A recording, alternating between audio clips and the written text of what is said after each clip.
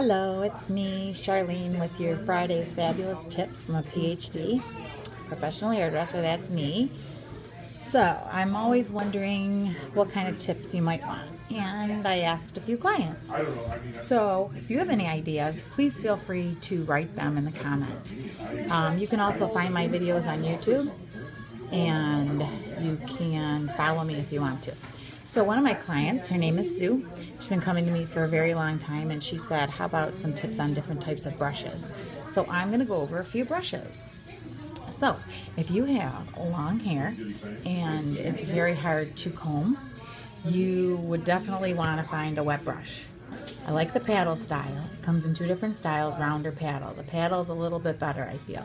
So you do it on wet hair and it will brush right through your hair no matter what no matter what snarls. This is like the best find. One of my clients told me about it, and it's been a great thing.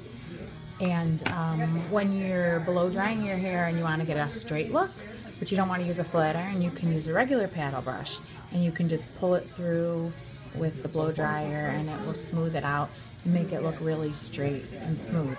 You can also use a regular paddle brush to just brush your hair when you're doing a really big blowout and you just want a full blowout, you want a boar's bristle brush. Something like this. This is boar's bristles and it won't get stuck in your hair. You can leave it in your hair to, to hold the curl and it comes in different sizes. This is for a larger big blowout. If you have shorter hair like say shoulder length or shorter, you might want to use a smaller one. For the bigger one I always think of the size of a pop can and the smaller one just so it's not too small but it will give you some curl and you'll have lots of curl and body. There's this type of brush that has the metal inside. It works more with a curling iron. The metal heats up and it kind of curls the hair. So you would hit the cool button on your blow dryer if you always wondered what that was and cool off the hair after you you rolled it in, then you cool it off and it would set like a roller. If you have really long hair like me and you just want big smooth hair. I use this monster one with the metal and it really smooths it out good. It works better than a flat iron or anything else. And um, you only need one because you're just smoothing it out. The boar's bristle you might want two so you can set the hair while you're working with the other. And then last but not least, this is my little teasing brush.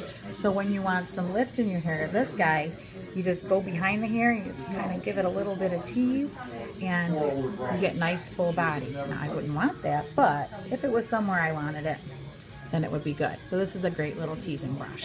So there are my brush tips. And like I said, if there are any other tips you're looking for, please write them in the comment section and I would be happy to address them to the best of my ability. Because remember, I'm not always right. I just know what I know and I think I know more, but you know, it's just all fun. Have a great day.